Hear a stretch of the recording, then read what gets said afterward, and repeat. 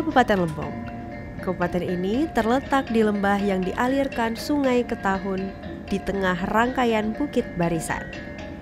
Masyarakat Rejang merupakan penduduk asli kabupaten ini yang mendiami dan merupakan penduduk mayoritas di seluruh kecamatan.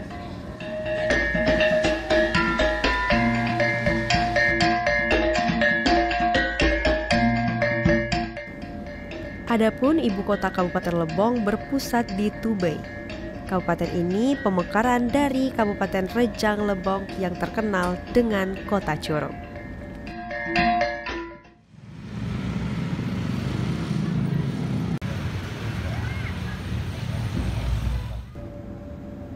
Jang adalah kata-kata asli berasal dari kalimat merejang. Untuk menyingkatkan kata ini, disebutlah kata jang maka jadilah suku Jang.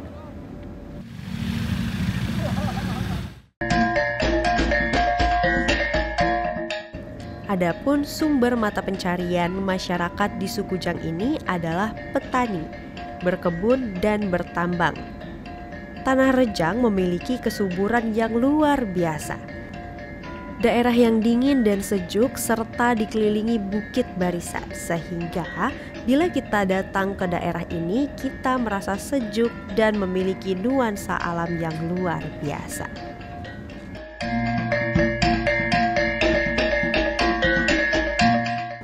Kabupaten Lebong selain dikelilingi bukit barisan, daerah ini juga memiliki aliran sungai terbesar di Provinsi Bengkulu, yaitu air ketahun dalam bahasa Lebong Bioa Tawen. Sungai ini mengelilingi desa dan kota Lebong, tepatnya di Kecamatan Uram Jaya, Desa Betangur. Dan sungai ini salah satu sungai lintas kabupaten sekaligus salah satu 120 buah sungai yang terletak di Provinsi Bengkulu. Sungai ini berhulu di wilayah Topos, mengalir ke arah barat dan bermuara di Samudra Hindia dekat Pasar Ketahun, Bengkulu Utara. Keberadaan sungai ini memiliki manfaat yang besar bagi masyarakat Lebong. Selain untuk tempat mandi, sungai ini juga sebagai untuk aliran air pertanian sawah dan untuk mencari pasir hingga batu sebagai bahan bangunan rumah mereka. tanahnya tanah subur, tanah pertanian yang bagus dan tanah perkebunannya sudah bagus. Sudah itu Kabupaten Lebong ini adalah asalnya dari Renas Klawi. Renas Klawi itu sudah dirubah oleh karena di zaman dulu, di zaman nenek moyang kita, leluhur kita. Waktu itu ada yang talebong istilahnya berkumpul oleh karena ada sejarahnya sedikit sebagai selintas kena ada penyakit, wabah penyakit, maka orang leluhur kita dulu berkumpul. Berkumpul itulah namanya kalau bahasa rejangnya itu adalah telebong. Telebong itu artinya berkumpul. Jadi dari awal itu dari Renas Pelawi oleh karena ada itu adalah telebong berkumpul itulah namanya kabupaten ini adalah Kabupaten Lebong.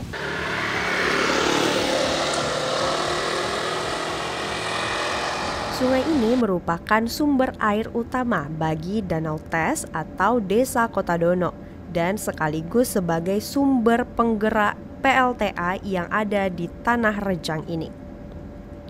Selain itu, Sungai Ketahun sejak lama menjadi sarana transportasi air primadona sebelum berkembang pesat transportasi darat.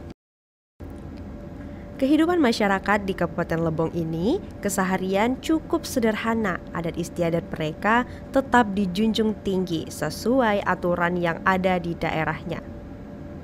Mereka memiliki rasa gotong royong dan saling peduli untuk menjaga kerukunan hidup di tanah rejak, tempat kelahiran mereka.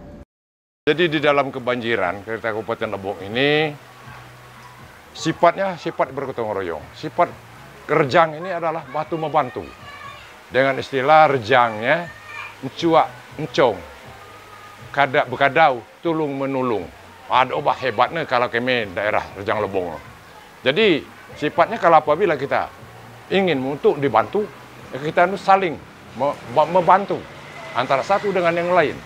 Jadi kalau ini dah kelebihannya kita di Rejang ini, suku Rejang ini adalah suatu wadah ini beban berat menjadi ringan.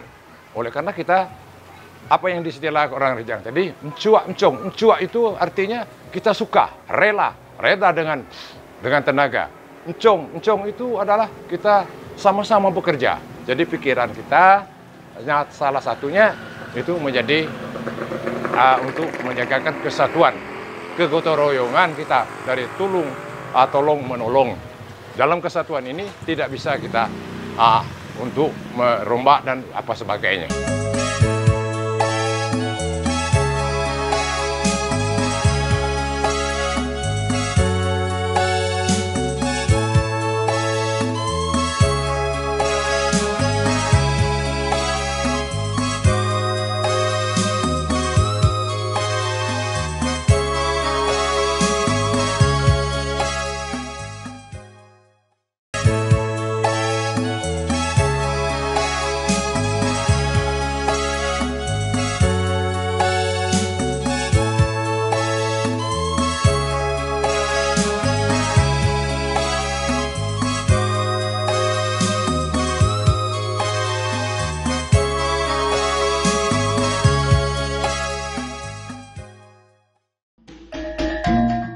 Kabupaten Lebong disebut sebagai kabupaten tertua yang ada di Provinsi Bengkulu.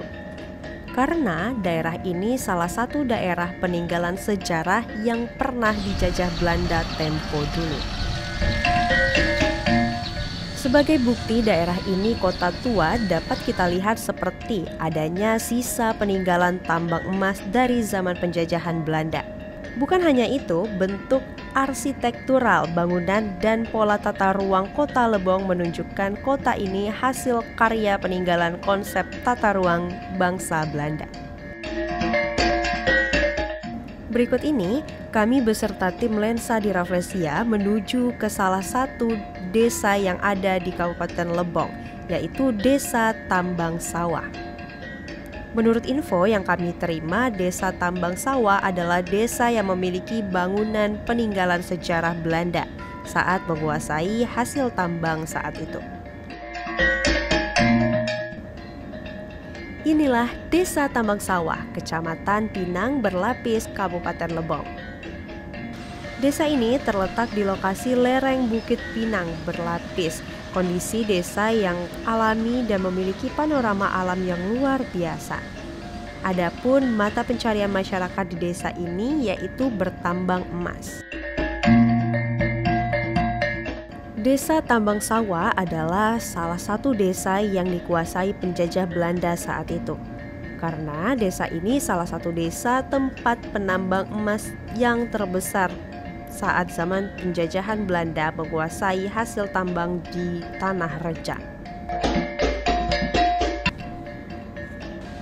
Menurut informasi yang kami terima dari salah satu tokoh masyarakat yang ada di desa ini yaitu Bapak Zulkarnain bahwa di desa Tambang Sawah terdapat tong-tong besar diperkirakan sebagai tempat penampungan hasil tambang emas yang dibuat penjajah era kolonial Belanda saat itu.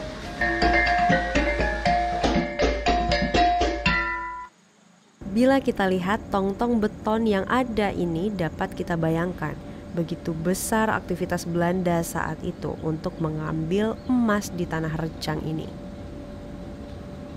Peninggalan sejarah yang ada ini sebagai bukti bahwa Kabupaten Lebong tepatnya di Desa Tambang Sawah adalah daerah salah satu yang pernah dikuasai penjajah kolonial Belanda saat itu.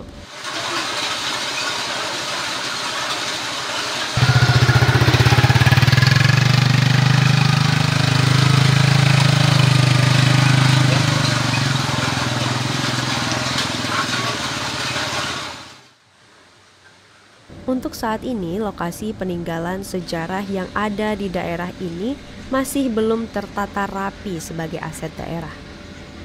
Lokasi ini sekarang masih dimanfaatkan warga untuk menjadi tempat tinggal mereka. Harapan Pak Zulkarnain sebagai kades desa ini ke depan peninggalan sejarah era kolonial Belanda ini bisa dibuat menjadi lokasi wisata sejarah dan cagar budaya di Desa Tambang Sawah, Kecamatan Pinang Berlapis.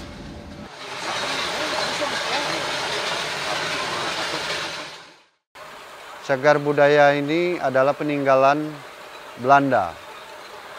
Nah, di sini peninggalan Belanda ini adalah peninggalan bekas pabrik pengolahan emas zaman Belanda. Nah, di sini ini itulah bentuknya seperti bundaran-bundaran itu ada beberapa biji di atas sana sekitar puluhan lah bentuk ini. Kalau dulu itu mungkin pengolahan Belanda ini sama kayaknya kayak sistem kini itu kalau kini itu seperti gentong pakai plat. Tapi Belanda ini pakai bangunan coran. Walaupun gitu kita lihat di sini, di sini ini sudah canggih. Walaupun zaman penjajahan dulu kayaknya sudah canggih. Contoh coran ini sudah ratusan tahun masih tahan. Nah, di sinilah di, dari pemerintahan kabupaten maupun pemerintahan desa kayaknya ini nih dibikin cagar budaya.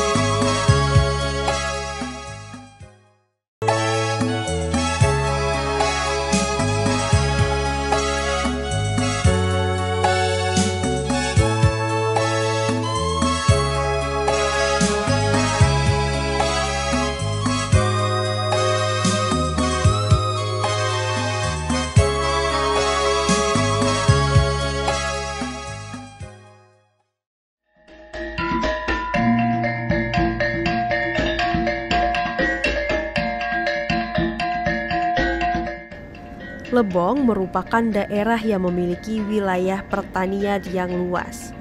Tetapi yang lebih menarik di desa Tambang Sawah Kecamatan Pinang Berlapis ini masyarakatnya 70% beraktivitas sebagai pengusaha pengolah tambang.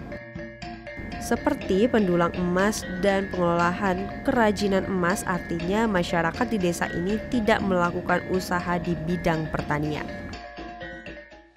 Selain penduduk suku Rejang, banyak warga dari luar tinggal di desa ini, seperti dari Pulau Jawa dan daerah lainnya.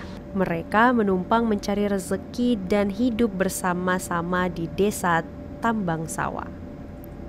Walaupun hidup beragam, suku mereka tetap menjaga adat istiadat dan menjalankan kekeluargaan yang kuat dalam kehidupan mereka. Untuk penduduk di sekitar sini mata pencariannya adalah mulai dari zaman Belanda itu setelah di sini adalah tambang, tambang rakyat. Jadi 90% masyarakat desa Tambang Sawah ini pencariannya itu ke tambang, tambang rakyat. Masyarakat di sini ada berbagai suku tapi suku mayoritasnya adalah Rejang dan Sunda. Nah, kalau Rejangnya 45 persen, Sundanya mungkin sekitar 45 persen. 10 persennya ada Padang, ada Selatan, dan ada yang lain-lainnya. Nah, kalau masalah suku, tapi kami di sini ini, walaupun sukunya berbeda, itu budaya rejangnya tetap kami istilahnya rawat budayanya. Mulai dari adat-adat rejang itu seperti tarian kejai, tarian itu kami khususnya di Pinang Belapis, Kecamatan Pinang Belapis ini merawat budaya itu. Untuk menjaga keutuhan dan kebersamaan dalam menjalinkan persaudaraan walaupun mereka berbeda suku, tinggal di desa Tambang Sawah Kabupaten Lebong ini. Mereka selalu menanamkan nilai seni kedaerahan kepada anak-anak mereka.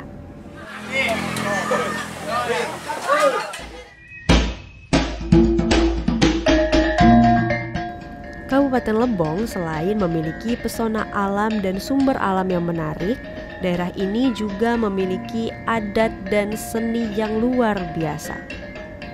Sehingga apa yang dimiliki harus dijaga dan dirawat dengan baik sebagai aset daerah mereka ke depannya.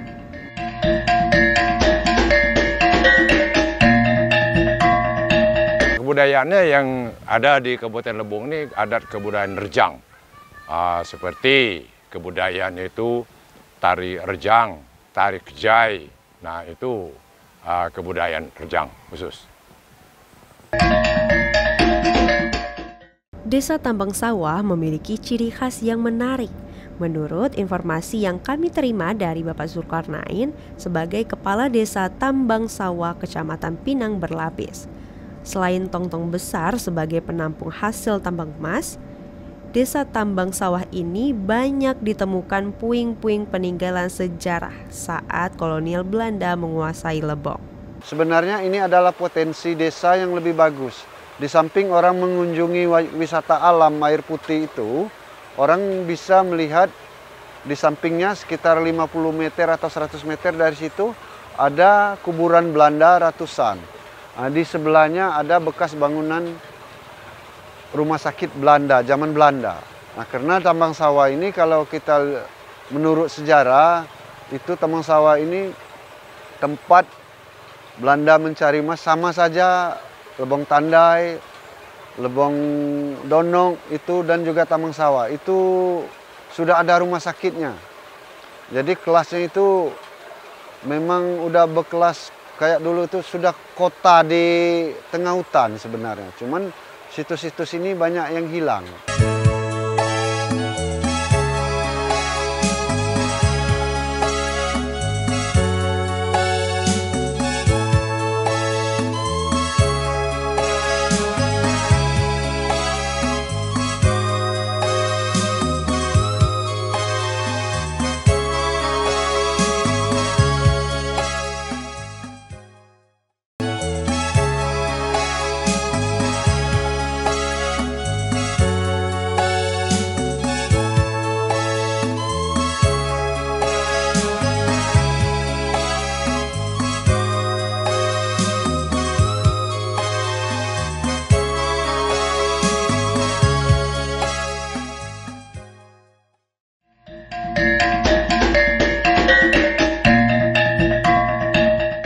Sisi lain, tepatnya di desa Tambang Sawah ini selain memiliki cagar budaya peninggalan puing-puing bangunan kolonial Belanda, desa ini memiliki objek wisata yang sangat menarik, yaitu objek wisata air putih. Pak Zulkarnain sebagai kepala desa langsung mengantarkan kami ke lokasi wisata ini. Setelah kami sampai di sini, kami merasa ada daya tarik tersendiri melihat pemandangan alam yang ada di wisata ini.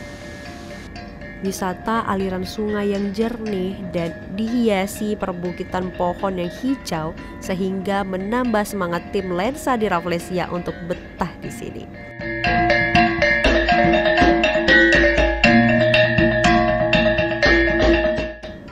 Yang lebih menarik di wisata ini, kami melihat langsung hemburan asap yang tebal keluar dari perut bumi dengan suara air yang mendidih. Wow, luar biasa! Ternyata wisata ini memiliki sumber air panas yang luar biasa, sehingga menambah sensasi para pengunjung. Pengunjung ini bisa merebus telur 5 menit itu bisa masak. Di sini ada tempat-tempat perebusan telur itu dari air panas alami yang timbul dari dasar bumi. Itu memang dari dulunya adalah istilahnya pengeluaran alam dari dampak gas bumi. Nah, mungkin itu kita bisa rebus telur di sini. Nah, di samping itu di atas wisata air putih ini sebenarnya kalau kita buka masih ada potensi satu lagi yaitu air terjun. Air terjunnya itu bertingkat-tingkat, di atas itu banyak sekali cuman Kita gendalanya untuk ke atas itu belum dibikin akses jalannya karena masih berpengaruh di TNKS. Jika kita lihat pesona alam yang ada serta dikelilingi bukit barisan yang menghijau, tentu banyak menyimpan lokasi wisata yang menarik lainnya di Tanah Rejang ini. Setelah puas menikmati suasana wisata air putih, kami mencoba menelusuri lokasi yang lain di Desa Tambang Sawah ini. Kami langsung menuju ke Desa Ulu Ketenong, Kecamatan Pinang Berlapis. Dalam perjalanan, kami menikmati suasana desa dan pemandangan bukit barisan yang menghijau serta asri. Setelah sampai, kami menemui salah seorang pemuda yang hobi berpetualang dengan alam di desa ini, yaitu Yoga. Yoga adalah salah satu pemuda Rejang yang sangat hobi berpetualang dengan alam di Kabupaten Lebong. Wisata berkegiatan di alam bebas, misalnya pendakian gunung. Di Lebong ini ada beberapa puncak yang cukup potensial untuk dikembangkan uh, sebagai uh, wisata pendakian, mulai dari Gunung Gedang perbatasan dengan Jambi, Gunung Runcing. Kalau di daerah Pinang Belapis ini tidak kurang dari 8 puncak bukit. Kemudian di Taba Atas, kemudian di daerah Tes dan lain sebagainya.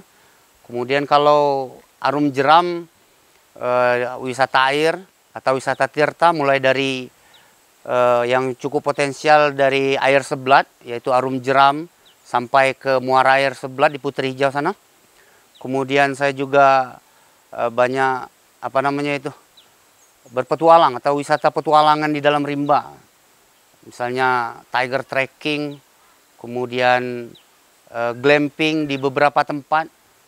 Potensi wisata di Lebong cukup menjanjikan di daerah Kabupaten Lebong ini, khususnya di Kecamatan Pinang Berlapis, banyak sekali lokasi objek wisata yang belum diketahui masyarakat. Yoga, seorang anak muda yang hobi menelusuri hutan Bukit Barisan ini, menjelaskan bahwa di daerah ini masih banyak lokasi wisata yang masih asri dan alami. Tanea Jang memang luar biasa Selain memiliki cagar budaya peninggalan Belanda, daerah ini juga memiliki potensi alam yang sangat menarik. Jika kita lihat potensi alam yang dimiliki daerah ini, dapat kita simpulkan, Kabupaten Lebong sangat kaya dengan hasil alam. Tetapi, semua itu harus dikelola dengan baik sehingga para wisatawan banyak berkunjung di Tanea Jang ini. Untuk Desa Ketenong sendiri itu memiliki salah satu ikon wisata, namanya itu wisata air terjun tujuh tingkat. Kalau untuk e, mengarah ke sana itu berjalan kaki sekitar 40 menit dari pinggir jalan aspal dengan pintu masuk di Desa Ketenong 1. Nah setelah sampai di sana ada batu besar yang biasanya dulu itu tepat kita bernaung kalau ada hujan langsung ke air terjun tingkat kedua. Nah dari tingkat kedua untuk mencapai tingkat-tingkat selanjutnya itu sudah ada jalan setapak di situ. Dan saat ini masih terus dalam proses upaya untuk pengembangan. Kecamatan Pinang Berlapis, Kabupaten Lebong dulunya merupakan hutan belantara. Namun sekarang menjadi desa yang sangat indah. Desa ini memiliki wisata alam yang menarik seperti air putih dan berpadu dengan air panas serta dikelilingi bukit barisan sehingga pengunjung bisa menikmati sensasi alam yang ada di dua sisi. Selain itu, daerah ini memiliki cerita dan sejarah sebagai salah satu desa jajahan kolonial Belanda saat menguasai pertambangan emas di Tanea Jang.